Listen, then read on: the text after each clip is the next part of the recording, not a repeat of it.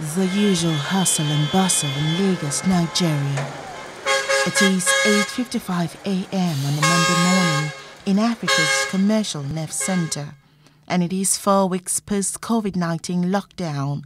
Workers at the Ajah area of Lagos using commuter buses make their way to work. Drivers now have to carry half the initial number of commuters to curb the spread of the coronavirus disease and for some passengers, they almost doubled hiking fares is too much a price to pay. From Ajah to CMS, 400, in which we're paying 300 naira, 250 before, 200. Now it's not 400, which is very, very high. From here to Badore is 200 naira for two passengers.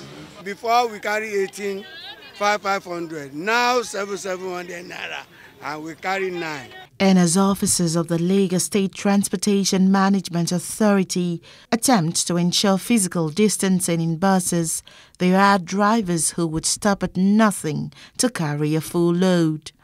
We are told off camera that these are military personnel and as such seem untouchable. This bus is one of such.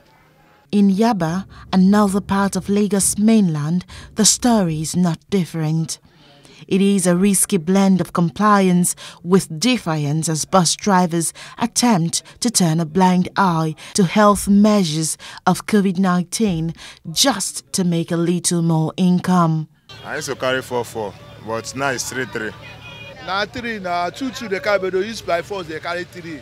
If you carry 3, they cash you, now your own log. If you no cash you, now God the permission they take three three any motor more than that they go arrest them. and back to the Ajah part of the city putting on a face mask is gradually becoming the new culture that you would have to pick up if you live in Lagos. But these kinds of banters often play out. Hearing about this coronavirus that is killing and arresting, we have not seen anybody that show to us in Lagos who is has killed people that he has killed, let us see that these people have, have died by coronavirus. So we know that yeah, truly this sickness is effective in the nation in Nigeria. Some drivers literally have to fight with passengers over the mandatory use of face masks. If I didn't pursue him, the last man will arrested me. They will say, why did I tell the passenger to use their nose cover? It is a step further as Dotun is not allowed to board a tricycle.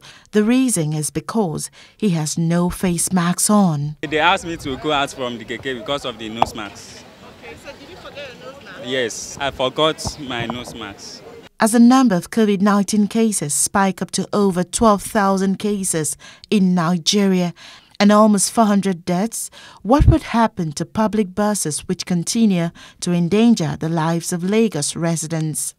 Olajide Oduyoye is the GM of LASTMA and he explains.